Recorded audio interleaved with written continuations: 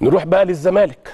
الزمالك آه، آه، ادى مرانه برضو اشتغل بدني واشتغل خططي في نفس الوقت برضو وكان في محاضرة من جوزيه جوميز.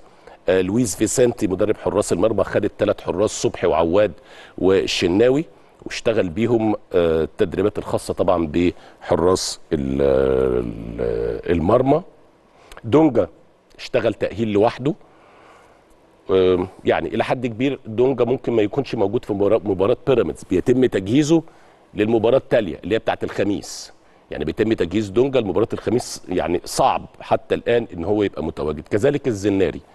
آه الزناري آه شارك النهارده في التدريبات البدنية. آه لكن برضو موضوع بقى مشاركته ده هيرجع لجوميز. هل ممكن إن هو بعد الإصابة يرجع يدخل يلعب على طول قدام بيراميدز ولا ممكن يريحه ويقعد دكة؟ ولا إيه؟ دي هتخضع ليه؟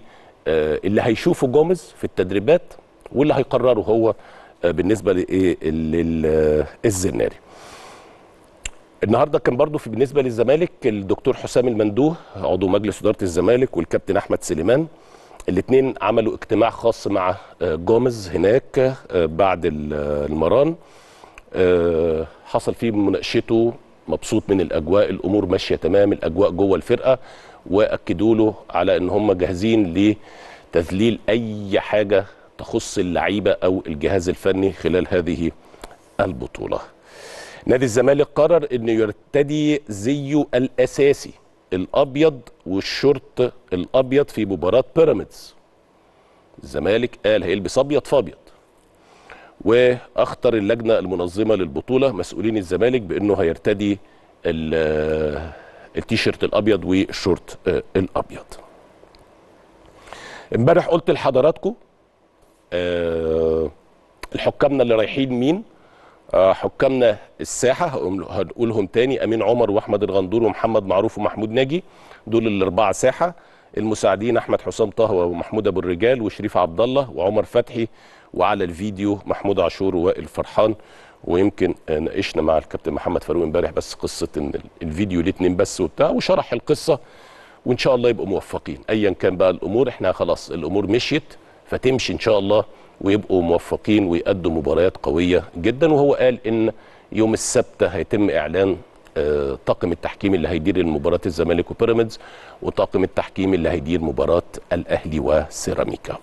أما سيراميكا لا هروح لبيراميدز الأول هروح لبيراميدز الأول. النهارده اتمرنوا أول تمرينة خدت حوالي ساعة ونص.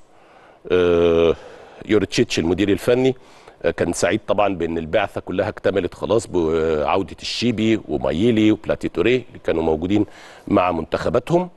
وزي ما بقول لحضراتكم هم طاروا امبارح متأخر شوية لكن خاضوا أول تمرين النهارده فريق آه، نادي بيراميدز.